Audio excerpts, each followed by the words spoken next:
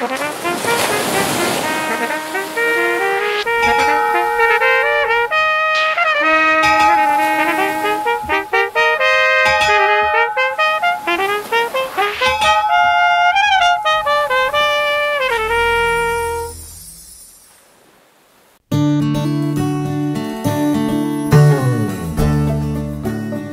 лет прошло с тех пор, как учебный парусник «Фрегат Штандарт» впервые вышел в плавание.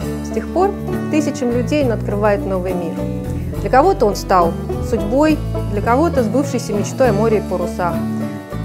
Сегодня, когда выросло целое поколение людей, для которых «Штандарт», казалось бы, был всегда, самое время рассказать о том, кто же и как его строил –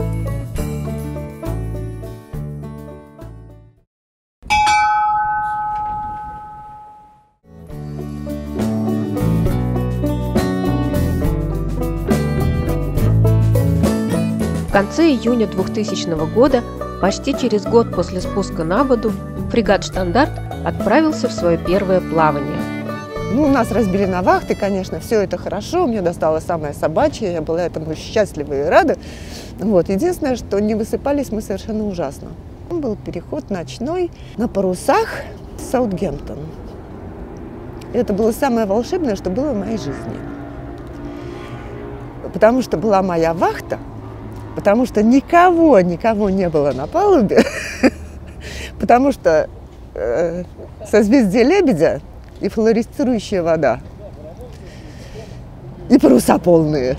Вот, вот все. Вот моя мечта, собственно говоря, вот тогда и осуществилась. Меня поразило то, как принимали штандарт во всех портах. Это был такой особый, предмет особой гордости, да, что ты входишь в порт не на круизном лайнере, не на просто какой-то яхте, а на историческом паруснике, который ты знаешь от и до, а, и ты можешь людей привести, показать и рассказать обо всем этом. Вот это, вот, наверное, большее впечатление на меня произвело.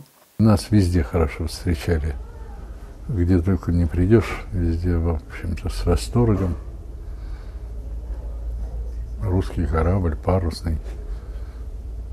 Здорово встречали. Как раз 2000 год, это такой был год, когда вот эти крупные фестивали, они все совпали по времени. Там был и Сейл Амстердам, был Брест 2000, еще какие-то более мелкие фестивали. В общем, там, конечно, хватало впечатлений. Когда мы были в Амстердаме и были в колонне парусников первыми, прохождение всех парусников, а, а мы возглавляли весь этот всю эту колонну парусников. Это было здорово. Первый поход был просто был настолько яркий по количеству фестивалей, э, построенных, рассчитанных один за другим. Это просто вереница какая-то была событий э, от фестиваля к фестивалю во Франции, в Голландии, в Англии. И нас таким, с таким восторгом встречали, с таким везде культурную программу готовили, там, в общем, ждали нас и, в общем, все старались случаю показать. Вот первый раз мы встречались с принцем в 98 году. Есть прекрасная фотография, как он на тебя смотрит безумными глазами, типа вот этими вот изящными ручками все мачты выстругать. Вот, и со мной там тоже, когда нам ручки пожимали, это было очень приятно. А второй раз мы с ним встречались в 2000 году, когда вот я догнала корабль в первом плавании с младенцем на руках – и поскольку я с младенцем, на общее построение меня не пустили, загнали мне в кают-компанию. Типа, не отсвечивай, с младенцем неприлично. И в результате мне досталось больше принца, чем всем остальным, потому что принц, естественно, захотел спуститься в кают-компанию, потому что, ну, это живая жизнь, а построение он каждый день видит. Он спускается в кают-компанию, а там мы с Аськой. А, и я снова видела это Э, выражение безграничного удивления на лице принца. Он вообще обаяшечка, а когда он удивляется, у него такая мимика живая. Вот. Как это вот так вот с девятимесячным младенцем в плавании? Люди, которые были в первом плавании, это все те, с кем ты строил корабль. Не полностью. То есть ряд людей не пошло в первое плавание. Но, опять же, пошли все те, кого ты хорошо знаешь, с которыми ты работал вместе, жил, а теперь ты вынужден уживаться в очень маленьком ограниченном пространстве – где еще ничего не достроено, еще плохо работает, и совершенно другой иерархии, нежели то, что было на берегу. Например, я регулярно уходил побыть одному побыть в одиночестве на Марсовую площадку. Вот, там так хорошо. Было мне как бы тревожно и обидно, что не все пошли в плавание. Вот. Там как бы очень многие отказались. Далеко не все пошли с нами, хотя я понимал, что корабль, конечно, не бесконечный, да, но некоторые не пошли э, как бы специально, то есть они и не хотели идти. И мне это показалось странным, потому что мне казалось, что ну, как бы мы строим для того, чтобы пойти, и когда человек э, строит, строит, а потом не идет. Но потом я как-то уже, опять же, через сколько лет стал анализировать, я подумал, что, в принципе, строить это одно, ходить это другое. Это совершенно разные песни. Это разные люди. Строящие, ходящие. Ну да. Я не пошел первое плавание, потому что был э, занятым семейным человеком. Это раз. Вот. А во-вторых, э, за время строительства я понял, что по жизни, наверное, люди делятся на тех, кто ходит, и на тех, кто строит. Вот. Вот. Я остался в той когорте, которая строит, и плавание меня, ну, интересно, но так. В общем, я воспринимаю верфь как инструмент, а корабль как продукт. В общем, вот, я занимаюсь, связываю свою жизнь с созданием инструмента, а не продукта. И поэтому я остался вот на берегу. Ну, там ситуация складывалась так, что нужно было заканчивать этот, а, как бы назвать так, заканчивать этот проект мечтателей чисто на земном уровне. А, вот, в бюрократическом, финансовом и прочих таких. Мне гораздо больше нравится строить корабли, чем на них ходить. Вот надо было к 45 в этом уже можно сознаться. Скажем так, у нас со стандартом разошлись планы. Меня как-то позвали совершенно в другое место, и я подумал, что может быть, я и не очень хочу принимать участие в первом плавании. Нет, страшно точно не было. Все строители были приглашены в экипаж. Все. Половина не пошла примерно. Вот, половина пошла. Но мне кажется, нужно было, вот, чтобы он полгодика походил, а потом уже строителей позвать. Потому что мы все были выжаты вот так, как лимончики. Все вот нервы вот так в узелочке завязаны как и большинство, как-то подустали от, от, от этого строительства, от, не знаю, этого подхода, как-то не захотелось. Вот. По разным причинам. Вот. Поэтому, собственно говоря, я по-человечьи вышел на стандарте через много-много лет на день рождения Мишани, когда стандарт ходил на Гогланд. Не пошел я по случайности, по трагической случайности ну и, наверное, к радости, потому как э, мне, наверное, было бы это очень тяжело. То есть э, тяжело идти на недостроенном корабле, ну, скажем, не недостроенном, на корабле с неиспытанными системами в море, зная, что это так. Эпоха такая мушкетерская, эй, мы строим крутой корабль, она вот заканчивалась, и как-то все становилось по-другому, а это было уже подход был не тот, очень многие на самом деле так и не, не пошли, либо вообще не, не ходили, либо сходили в какое-то одно короткое плавание и так и не после этого не, не остались там. И, в общем, идея про то, что и, и эта же команда будет на этом корабле ходить, она, в общем, не выстрелила. Я считаю, это, конечно, очень плохо много раз я задавал себе вопрос, почему я не пошел на стандарте.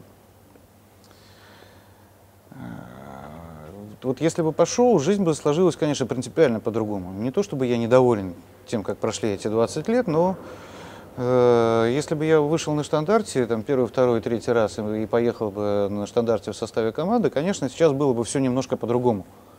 Не лучше, не хуже, просто по-другому. Почему не пошел? Мне трудно сказать. Ну, мне тогда казалось, что у меня какие-то трения с э, Володей Мартусем, и что мне казалось, что у меня какие-то к нему претензии. Э, хотя, ну, так вот, трезво рассудив, вообще делить было совершенно нечего. Так что вот такой явной логической причины я не нахожу. Нет ее. Столько лет продолжалось строительство, и столько лет вот это вот активное участие, даже вот волонтером, что ушел фрегат, И в душе, и вот в осознании того, что чего-то не хватает, вот как будто покинул близкий человек тебя. И получилось вот ощущение пустоты, честное слово, на долгие годы. Такое депрессионное состояние. Пока мы строили корабль, нас часто спрашивали, а верите ли вы вообще в то, что это возможно? Нет ли сомнений, что все получится? А что мы думали об этом 20 лет назад? А что, собственно, тянуть-то? Расскажем прямо сейчас. До последнего момента же никто наверняка не верил, что вообще куда-то пойдем. Потому что я до сих пор вспоминаю учительницу, когда она привела класс на экскурсию, меня сорвали с лесов, и она попросила меня сфотографироваться с ее классом. И она такая, ну вы же на нем пойдете. Я так, ну да. В принципе, люди, с которыми я раньше работал, э, дали мне повод думать, что ничего нереального просто нет. Мне тогда было что-то года 22, что ли, 24, и я даже не задавался таким вопросом. То есть мне не возникало никаких сомнений, что это будет закончено или это не будет закончено. Конечно, да, господи. То есть, ну, даже э, не было мысли о том, что что-то может не получиться. Оно могло получиться не так, как хотелось, или не тогда, когда хотелось. Но то, что итог работ э, будет обязательно, и он будет вот такой, не было сомнений никаких. У меня было 20 вещей, которые я не могу, тогда вообще еще не было придумано. Поэтому как-то даже не думали. Нет, вообще не волновало. Не, мне не волновало, как-то было понятно, что, ну, что... Нет, ну просто нужно фигачить и все. Да не, не было, конечно, сомнений никаких. Ну, наверное, просто возраст такой был, когда ты как бы не задаешь себе эти вопросы. Как бы зачем это все, почему, куда. Просто прикольно, просто что-то делается. А не то, чтобы я задавался этим вопросом. Ну, у меня сомнений не было. Я даже не думал об этом. Есть процесс, есть место, куда можно было прийти всегда. А встретиться с хорошими людьми, попить чаю, поработать с деревом. Там сам процесс был важен и интересен. Вот ты делаешь что-то большое и правильно. Ну и делай большое и правильно. Что думать-то? Особо об этом не задумались, просто старались сделать как можно быстрее, как можно больше. Дело в том, что если люди малообразованные, крепостные, там, собранные там от сахи, от куда-то еще, от чего-то, смогли это сделать тогда, то я не понимаю, что мешает сделать это сейчас. Нет, бандиты, бюрократы, воры там, это да. Но тогда же было все то же самое. Так как я пришел уже в такую фазу, когда он уже прямо работа кипела, как-то вот этих вот вопросов меня не возникало. Вот. вот кто начинал строить, когда вот эти вот э, первые закладки, вот это да, вот это действительно была какая-то, наверное, можно было рассматривать как авантюру. Когда я уже пришел я, уже все, это было уже нормальное такое потоковое строительство. А, и как-то вопросов, что он будет недостроен, мне не возникало. Уже как-то в свои силы верилось, что мы можем, мы можем, мы сможем. Хотя э, в первый момент я испытала такой небольшой шок, когда э, представила себе масштабы. То есть вот что такое гичка, да, вот каких-то 12 метров, и что такое штандарт, огромный парусник. И когда я первый раз увидела картинку, я, честно говоря, некоторое время трясла головой, потому что думаю, не, не, не может такого быть, никак не, не получится. Я не верил, потому что я думал, что правда, что деревянный пароход такого размера. Во всей этой теме достаточно было, что Мартус верит. Мне кажется, всем остальным до некоторых был, был просто прикольно. То есть в любом проекте должен быть как минимум один человек, который верит и в тот момент, когда все разваливается, складывает так, чтобы оно и продвинулось еще немножко вперед. Ключевым параметром этой уверенности было присутствие Володи Мартуса. Я его много лет знал и знал, что если он что-то решил делать что-то, он этого добьется. Вот. А физически техника строительства корабля для меня тогда уже не было такой мистерией. А, то есть я уже поучился, я уже знал, как строятся маленькие, ну, маленькие средние лодки, я видел корабли, как они строятся, большие корабли. Никогда этого сам, конечно, еще не пробовал, но я представлял, что это такое. Я видела Святого Петра, я на нем каталась, вот был кораблик, а, теперь все стали немножко старше, будет другой кораблик побольше, я не сомневалась. Я очень хорошо был знаком с Мартусем к тому времени. И его это вот катастрофические, как Вадейша говорил, способности, у меня сомнений не было вообще никаких. Да, может быть, это было, могло быть это не в 99-м, там, в 2001-м, но то, что это вот в какое-то обозримое будущее завершится, у меня вообще сомнений не было никогда. Знали, что закончим. Один раз мы у нас было большое собрание, поднапрячься и доделать, или спокойно обождать еще годик и сделать нормально. Такое было, но пришли к выводу, что лучше не торопиться. Сделать нормально. А такого, что не построим, такого не было. У всех была цель, что построим обязательно. Работая в связке с Володей Мартусем, в общем, да и никогда не вызывало сомнения, что, то, что мы достроим этот корабль. Было вот прямо вот, я был уверен, что это произойдет. Рано или поздно, так или иначе, но даже не было сомнений в том, что были сомнения, как это получится у нас, не в том, что, э, ну, то есть, насколько хорошо это получится, получится идеальный корабль, либо мы на что-то у нас не хватит ресурса, знания, а, денег, материалов. Вот здесь сомнения были, но то, что мы достроим этот корабль, у меня сомнений вообще никаких не было. Была вера в капитана, что он все сможет, он действительно может все решить. Э, естественно, он, ну, то есть лидер был, и у всех остальных было осознание того, что мы вместе, мы команда. Ну, почему-то я в этом никогда не сомневалась. Э, во-первых, потому что действительно была весьма активная команда участников, которые тоже не сомневались.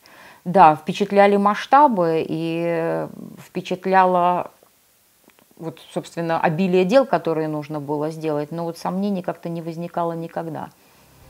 То есть это была какая-то голубая мечта, которую можно было достать.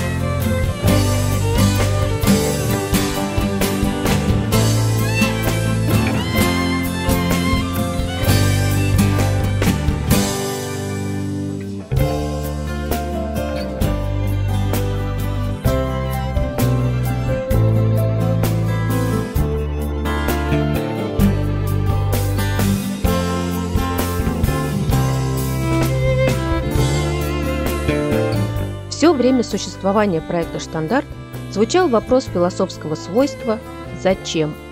И мы обязательно ответим на него в следующем эпизоде.